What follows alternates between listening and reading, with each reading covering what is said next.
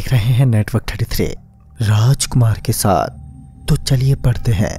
आज की कहानी की ओर।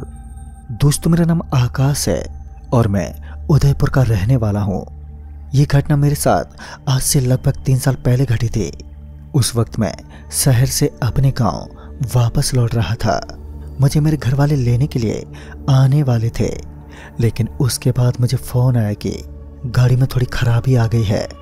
इसलिए मुझे ट्रेन पकड़कर पहले तो एक स्टेशन पर उतरना था और वहाँ से उतरने के बाद मेरे सामने ही मेरे घर वाले आने वाले थे।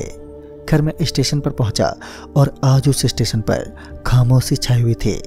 चारों ओर एक भयानक सन्नाटे ने अपने गूंज को इस कदर बढ़ाकर रखा था, मानो वह स्टेशन कई सालों से सुमसान पड़ा हो।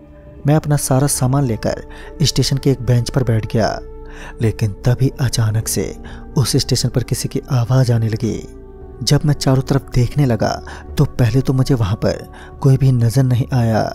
लेकिन उसके बाद मुझे लगा कि शायद कोई मेरी तरह ही यात्री होगा, जो देर रात ट्रेन से सफ़र करने के लिए यहाँ पर आया होगा। यही सोचते हुए अभी मैं स्टेशन के उस बेंच पर बैठा हुआ था, कि तभी अचानक से ही कदमों के पटकने की आवाज़ मेरे कानों में पड़ी। फिर जब मैं पीछे की तरफ़ पलटा तो मैंने देखा कि एक छः फुट का लंबा आदमी मेरी तरफ़ आ रहा है। फिर वह आदमी पहले तो मेरे करीब आया और फिर मेरे से बातचीत करने लगा। उसके बाद बातों ही बातों में उस आदमी ने मुझसे कहा, अरे भाई साहब, चलिए ना। उस तरफ़ एक ढाबा पड़ता है और ट्रेन को तो आने में अभी काफ़ी समय लगेगा।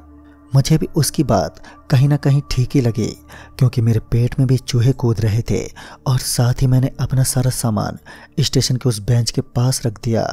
सामान काफ़ी ज़्यादा था और चारों तरफ़ मुझे कोई आदमी भी दिखाई नहीं दे रहा था कि कोई मेरे सामान को उठाकर वहाँ से चोरी कर लेगा, क्योंकि रात काफ़ी घनी हो चुकी थी। उसके बाद मैं वहाँ से उस आदमी के पीछे पीछे जाने लगा। बातों ही बातों में वह आदमी पता नहीं मुझे किस जगह पर लेकर आ गया, जहाँ पर सिर्फ़ और सिर्फ़ अंधेरा ही था। हम दोनों बातें करते हुए आगे बढ़ रहे थे, मगर मुझे उस आदमी का बात करने का ढंग कुछ अलग ही दिखा। मानो वह आदमी बहुत ही सख्त हो। उस आदमी ने मुझे कहा, आप क्या खाओगे खाने में? तो मैंने उसे अपने खाने के बारे में बताया। फिर जब मैंने उस आदमी से उसके खाने के बारे में पूछा तो मानो मैं तो बहुत चक्का सा रह गया। उस आदमी ने कहा कि मैं कुछ नहीं खाता, सिर्फ़ इंसानी खून पीता हूँ। मुझे उसकी ये बातें सुनकर ज़ोर ज़ोर से हँसी आने लगी। तो उस आदमी ने कहा, तुम हंस क्यों रहे हो? तो मैंने उस आदमी से कहा, क्या भाई साहब, आप कोई भेड़िया हो या फिर कोई दानव? मेरी ये बात सुनकर वह आदमी मुस्कुराते हुए बोला, आप तुम कुछ भी समझो। मगर उसकी एक एक बात के पीछे कोई ना कोई बड़ा राज छुपा होता था।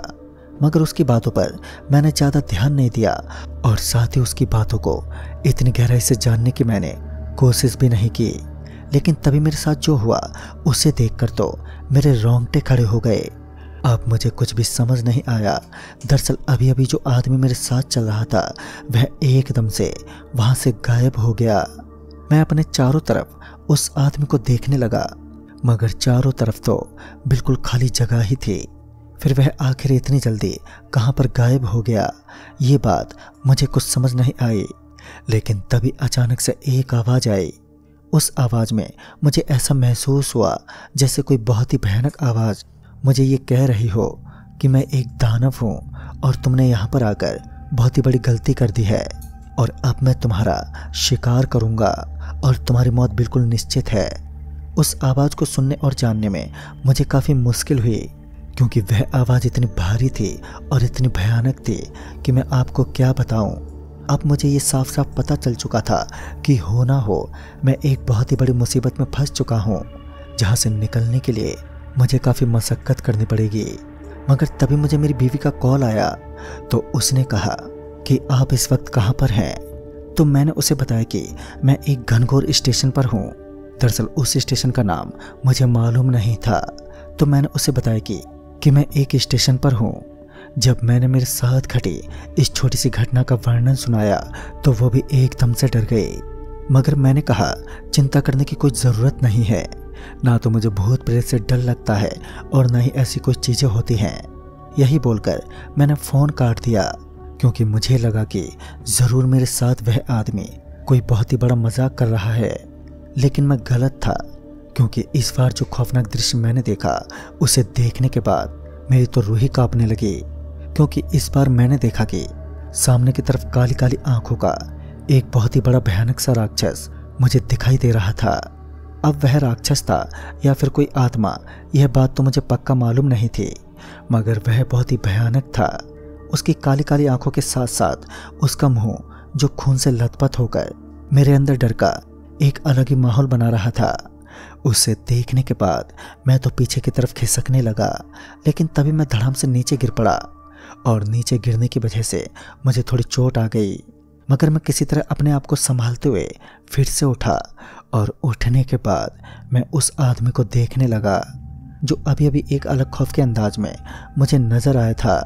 अभी मैं इधर उधर देख ही रहा था कि तभी किसी ने मेरे कंधे पर अपना हाथ रखा। उसके हाथ रखते ही मैं तो एकदम से डर सा गया। उसका हाथ इतना गर्म था कि मुझे जलने की बदबू आने लगी। फिर जब मैं पीछे पलटा तो मैंने देखा कि मेरा शर्ट अब जलने लगा है और वहाँ पर कोई मौजूद भी नहीं था। यह काफ़ी आश्चर्य की बात थी, लेकिन अभी मैं इधर उधर देख ही रहा था कि तभी अचानक से किसी ने मेरा नाम पुकारा और फिर मुझे बुलाने की वो कोशिश करने लगा। अब मुझे पूरा विश्वास हो चुका था कि यहाँ पर ज़रूर कोई भूत प्रेत का साया है। तभी मुझे इतनी देर से यहाँ परेशान करके रखा है। अभी मैं ये सब सोच ही रहा था कि वह आवाज़ अब और भी तेज होने लगी। डर के मारे मेरी तो आवाज़ बिल्कुल निकल ही नहीं पा रही थी। अब मुझे किसी भी तरह इस भयानक जगह से निकलना था, क्योंकि अब मुझे ये बात साफ़ साफ़ पता चल चुकी थी कि ये जगह दिखने में जितनी खूबसूरत है और अच्छी है। उतनी ही भयानक और खतरनाक भी है। वह जगह देखने में तो इतनी अच्छी लग रही थी, मानो किसी ने उसे बहुत ही अच्छे तरीके से सजा के रखा हो। लेकिन उसके कुछ ही देर बाद अचानक से उस जगह पर भूचाल सा आने लगा, या फिर ऐसा कहें कि वहाँ पर एक बवंडर सा उत्पन्न हो गया। और फिर देखते ही देखते मैं उस बवंडर में कहाँ खो गया, मुझे पता ही नहीं चला। और उसके कुछ ही देर बाद जब मेरी आँखें खुली तो मैंने देखा कि अब उस जगह का सारा हुलिया पूरी तरह से बदल चुका है। जहाँ पर मुझे कुछ देर पहले एक जगमगाता हुआ गाँव दिखाई दे रहा था तो वहीं इस समय चारों ओर एक डरावना सा सन्नाटा और एक शमशान घाट नज़र आ रहा था। मैं सच में उस वक्त काफ़ी हैरान हो गया था, मगर ये खामोशी तूफ़ान के पहले की शांति थी, क्योंकि उसके बाद अचानक से किसी ने मेरा पैर पकड़ लिया और जब मेरी नज़र मेरे पैरों पर पड़ी तो मानो आज मेरी ज़िंदगी का मुझे आखिरी दिन नज़र आ रहा था, क्योंकि मेरे पैरों पर एक बहुत ही लंबी बालों की चोटी बंधी हुई थी। वह चोटी बहुत ही लंबी थी, मगर मैंने कैसे भी करके अपने आप को छुड़वाया, लेकिन मैं इसमें ज़्यादा सक्षम नहीं था, क्योंकि कुछ देर के बाद उस चोटी ने मेरे पैरों को फिर से जकड़ लिया। अब मैं लगातार उस चोटी से अपना पैर छुड़वा रहा था। मगर वह बार बार मेरे पैरों को फिर से उसी चोटी में फंसा लेती। फिर उसके बाद जब मैं उस चोटी के किनारे पर पहुँचा तो मैंने देखा कि वह चोटी किसी और की नहीं है, बल्कि उसी इंसान की थी जो मेरे साथ साथ आया था। यह देखकर मैं तो एकदम बहुत ही ज़्यादा हैरान सा रह गया और उसके बाद वहीं पर उसकी चोटी एकदम से समाप्त हो गई। मगर अब मुझे अपनी मौत बहुत ही करीब लेकर आ चुकी थी और उसकी यह चाल शायद सफल हो गई। लेकिन उसके बाद मैंने ना तो उसकी तरफ़ देखा और मैं वहाँ से दौड़ने की अब कोशिश करने लगा। लेकिन मैं असफल रहा, क्योंकि मैं वहाँ से भाग ही नहीं पा रहा था। उसके बाद मैं कुछ देर तक इतनी कोशिश करता रहा कि मेरी साँसें ज़ोर ज़ोर से अब उखड़ने लगी थी, जिस वजह से मैं थकार कर वहीं पर बैठ गया। क्योंकि अब मेरी इतनी भी हिम्मत नहीं थी कि मैं भागना तो दूर, वहाँ से थोड़ी दूर भी आगे बढ़ सकूँ। मैं अभी वहीं पर बैठा हुआ था, मगर जब मेरी नज़र चारों तरफ़ पड़ी, तब मैंने देखा कि वह आदमी वहाँ से अब गायब हो चुका है यह मेरे लिए काफ़ी अच्छी बात भी थी, लेकिन यह सिर्फ़ और सिर्फ़ मेरा एक बहम था, क्योंकि इस बार जब मेरी नज़र एक झोंपड़ी पर पड़ी तो मैंने देखा कि वहाँ पर एक आदमी फांसी खाकर लटका हुआ था उसे देखकर मेरे तो शरीर में बिजली सी रौंद गई। आज की रात मेरी ज़िंदगी की सबसे खौफनाक रात थी। अब तक मैं इतने हादसों से गुजर चुका था कि अगर मेरी जगह कोई कमज़ोर दिल वाला इंसान होता तो शायद वह आदमी अपना दम तोड़ देता। मगर मैं किसी तरह बर्दाश्त किए हुए था। अब चारों तरफ़ सिर्फ़ और सिर्फ़ डर का माहौल होने लगा। मुझे चारों ओर वही आदमी दिखाई दे रहा था जो मुझे यहाँ पर लेकर आया था। इस बार वह आदमी अचानक से मेरे सामने प्रकट हुआ और मैं उसके आर पार हो गया। उसके आर पार होने के बाद मैं बहुत तेज गति से स्टेशन की तरफ़ भागा और कुछ ही देर के बाद मैं उस रेलवे स्टेशन के पास अपने सामान के पास पहुँच गया। जब मैं अपने सामान के पास पहुँचा तो मेरा सामान बिल्कुल ठीक ठाक था, लेकिन तब तक ट्रेन निकल चुकी थी, जो कि मेरे लिए एक और सबसे भयानक बात थी। मगर तभी मैंने देखा कि वहाँ पर एक नहीं दो नहीं, बल्कि कई सारे और भी वैसे ही भयानक आदमी मुझे मेरे सामने आते हुए दिखाई दे रहे थे। मैंने थोड़ी हिम्मत दिखाई और वहाँ से किसी तरह जाने की कोशिश करने लगा। वह आदमी चारों तरफ़ इस कदर फैल चुके थे। मानो आज वो मुझ पर जाल बिछाने वाले हों। लेकिन तभी अचानक से मेरा पैर वहीं स्टेशन पर एक गड्ढे में पड़ा, जिस वजह से मैं नीचे गिर गया और नीचे गिरते ही मेरा सर ज़ोर से वहीं पथरीली ज़मीन से टकराया। मेरा सर जैसे ही उस ज़मीन से टकराया, मैं एकदम से बेहोश हो गया। फिर जब मेरी आँखें खुली तो कोई मेरे मुँह पर पानी की छींटे मार रहा था। उसके बाद मैं उठा और फिर जब मैंने उठकर देखा तो वहाँ पर मेरे घर वाले थे, मगर वहाँ पर कोई स्टेशन नहीं था। वहाँ पर चारों ओर सिर्फ़ एक सुनसान भवन था, लेकिन मैं तो स्टेशन पर था तो फिर इस जगह पर कैसे पहुँच गया? उसके बाद मुझे पता चला कि जिस आदमी ने आपको जानकारी दी थी वह जानकारी थोड़ा आगे की थी। उस जगह से भी स्टेशन लगभग एक किलोमीटर की दूरी पर पड़ता है। यानी कि वह एक नकली स्टेशन था।